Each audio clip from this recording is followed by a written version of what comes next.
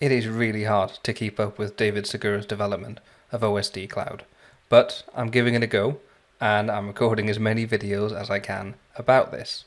So the main thing that happened last week, or technically still this week, is uh, OSD script pad or OS deploy pad or OSD pad um, was released. But one of the things that was snuck in was quick setup.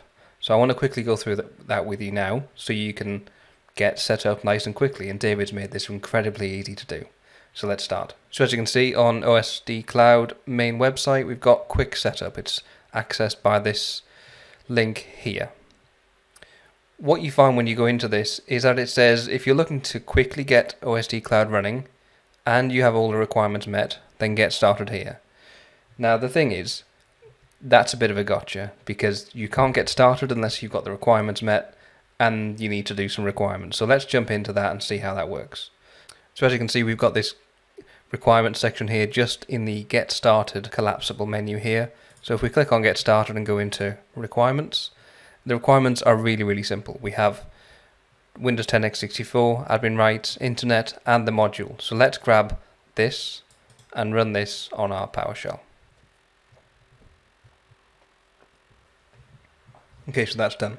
Now, obviously I'm running this today, which is the 13th of August, and that means I've got the latest version that has been released. And that's apparently what you need for this to work. So if we go back to the quick setup guide, you can see we've got requires OSD PowerShell module 21.8.11. Uh, I hope I've got that version. Let me check. Uh, so we'll just get get uh, okay so I've got 20 21.8.11.4 so that will do so back over to the quick setup, we need admin rights, which I've got. So we do we do OSD help, OSD cloud setup.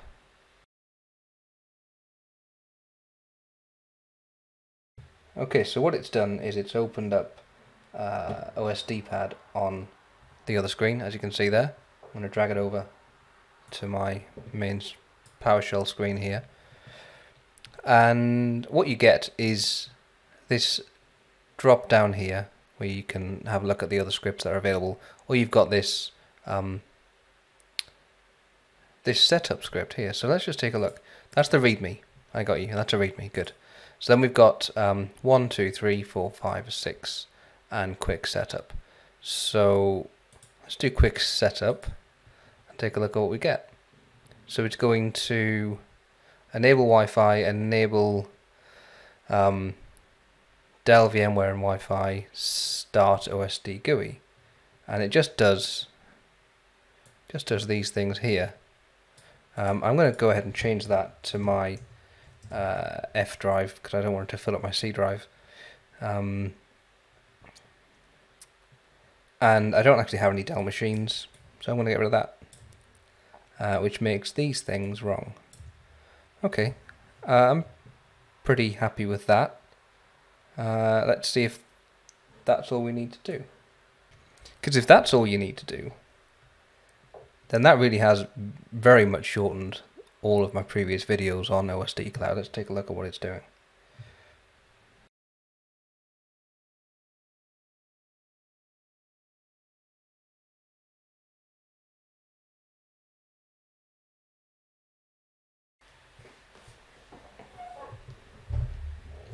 So just to recap then, while it's running through the save Windows image um, function, uh, I mean, I've run two commands now. I, I opened PowerShell in Windows Terminal, ran the command to install the OSD PowerShell module, and then run OSD help, OSD cloud setup, and then chose quick setup and, and pressed run, which realistically is about 30 seconds work and then you wait for this to finish off doing all the downloads and all of the, the generation of the templates and, and creating the ISO for you.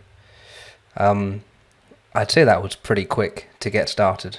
It's doing something on the screen so we'll go back to, um, to see what it's doing now.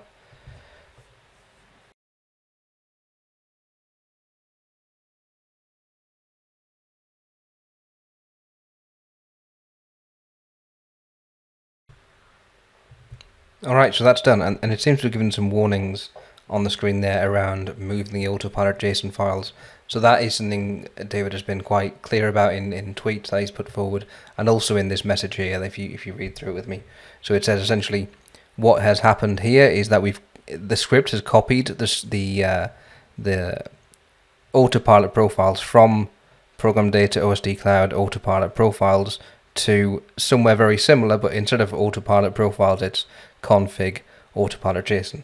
Now it's not removed the old the old folder, and essentially so this message that will pop up every time you run this script until you've removed uh, this old deprecated folder, and the warning time will increase from uh, 10 seconds to something astronomical if you don't um, if you don't remove that folder, which you know is fair enough. So and then it says again at the bottom, move all of your autopilot profiles from the old location, uh, and then does actually say you'll be unable to create or update an OSD Cloud workspace until it's removed. I mean that's a fairly that's a fairly big big warning we've got there. So um, go to the old place, is this one here and see if I've actually got that there. And I do. Right, so to delete that, I'll just do remove item um, profiles, and I might as well get rid of autopilot as well. So I'll remove, oops, remove item autopilot. Okay, that's all gone. So yeah, it seems if as though it stopped um, me carrying on with this process. It just started the new OSD Cloud Workspace and then gave this warning and then errored out. So um, yeah, we'll start this again then, now that we've cleaned up the old folders. So if we do quick setup, we have this one here. Again, I'm just going to remove the references to Dell because I don't want it to download all the drivers for me. Um, and I really would like it to work in, in the F drive if we can. So we'll do uh, run from there.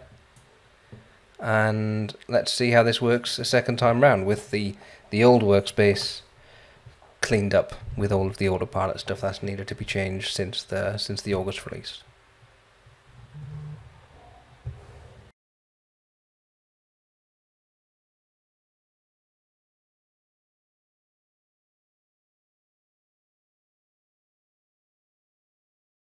Yeah, okay, so here it is moving on through to the new OSD Cloud workspace and it skipped past the warning around the autopilot profiles being in the way.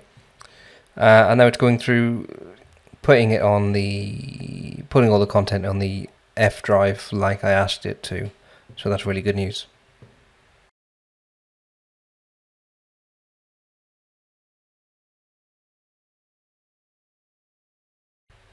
And so while it grabs the Wi-Fi drivers from the internet.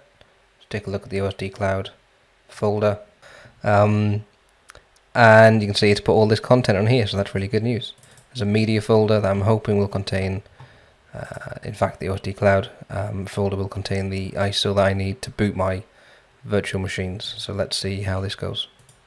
Great, so a lot of good info here on the screen. It says start OSD Cloud GUI is adding start OSD Cloud GUI to the startnet command, and that is essentially the thing that runs when the when the the build of uh, of OSD Cloud finishes. Okay, so that's done. We'll review what it says on the screen in just a few seconds. Uh, what I want to do first, though, is just show you the uh, the thing I forgot to mention on this um, OSD Cloud setup screen. The first thing that it shows you is the README, and I completely didn't read the README, which probably is a bad thing. So it says these are the the requirements for running OSD Cloud. Uh, essentially, it's Windows 10 x64, admin rights, uh, open internet, the ADK, and the ADK WinPE add-on. Obviously, in order to get this far, you would have needed to have the OSD Cloud module installed, the OSD module installed. So that's that's kind of uh, assumed that that's working. But those are the core requirements to be able to run this script. So on the screen, we have, uh, what does it say it's done? So it's put a lot of files in here, and it's got this no prompt ISO that it popped into OSD Cloud for me. And yeah, let's take a look at what it's got. So in here, there's our ISO there and our no prompt ISO. I'm just going to grab the location for the no prompt ISO and then we'll build a virtual machine to see how that has helped our process. I'm just going to put this in the um,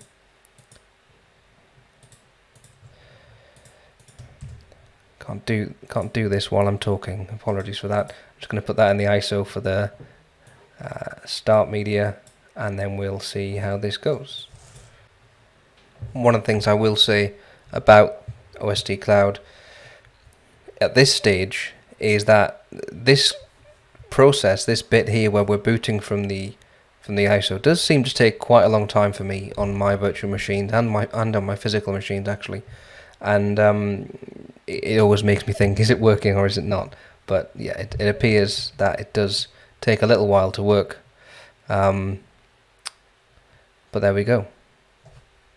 So this has a has a no prompt flag set. So I'm expecting there to be less prompts for the user or the engineer or the admin at this stage. So we'll see how far it gets us and what it brings up without me clicking any buttons or doing anything, which is um, which is kind of one of the goals, and really one of the use cases is to get this out to your engineers so you can build machines in the field without them needing to know PowerShell or know um, know anything difficult to, for them to learn. You know, these guys might be fresh out of out of college or fresh out of school and just want to get machines built with those to, to give them some experience. So this potentially is one of the use cases and hopefully using this quick setup we can have the base for doing that. So the last thing I saw on the screen there was start OSD Cloud GUI. So I'm assuming that in a few seconds, hopefully, we'll see OSD Cloud GUI. And there it is. Okay, so let's run through this step by step. The top line is the version of Windows, which we'll go with 21H1, stick with Enterprise, and we'll go with ENUS. Um, we haven't got an option to change the volume, and it's the image index is, is 6, so I assume if I change that, it'll drop it down to... Ah, the volume is the um, is a, a bit of information about the ISO, not the volume it'll deploy to. Good. So yeah, it's the volume, and uh, index is 6. So this would say, this currently says Microsoft, that's because I'm running in Hyper-V, it would say Dell or it would say Lenovo, so we'll leave that as that. I think you can change it, you can change it. Let's change that to Dell, and uh, it's a virtual machine, good. So we wanted to restart the computer after WinPE phase is complete, and we could capture the screenshots, and because this is a virtual machine, I'm going to choose not to warn before before wiping the disks. So hopefully this will just go straight through the build and won't ask me anything. It'll just do exactly what we've chosen in this uh, OSD Cloud GUI. Let's give it a go. I'm going to click start and see the magic happen.